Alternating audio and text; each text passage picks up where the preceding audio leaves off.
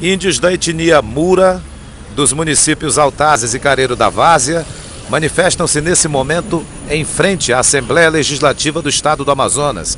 Eles cobram demarcação para as suas terras indígenas.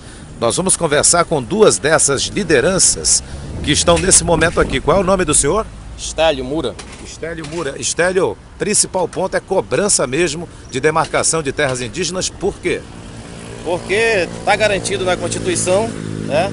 E é uma exigência que nós temos fazendo e cobrando que é de nosso direito. E hoje eu quero colocar aqui, vai o meu repúdio ao governo federal, né, que o teme, que na verdade está nos matando, tá, né, tá matando os indígenas. Então vai o meu repúdio ao governo Temer. Ilair Pereira também é outra liderança, Ilair. A FUNAI Nacional não atende vocês e daqui a pouco o presidente da FUNAI deve estar na Assembleia Legislativa.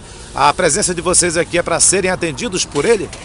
É, realmente a nossa presença é que nós possamos hoje ter uma palavra com ele em sentido da relação a que foi dito pelo parente indígena, nosso parente Mura, é que a cobrança mesmo da nossa demarcação de terra, a, a não desmontamento da FUNAI, que está prejudicando nossa CTL dentro do município e é, prejudicando uma população indígena que não consegue é, tirar essa documentação, não consegue rever a situação da demarcação de terra. Então hoje nós estamos aqui né, tentando conseguir uma palavra com ele aqui na Assembleia Legislativa para reivindicar esses nossos direitos. Ao todo, quantos índios devem vir para cá chegando de ônibus?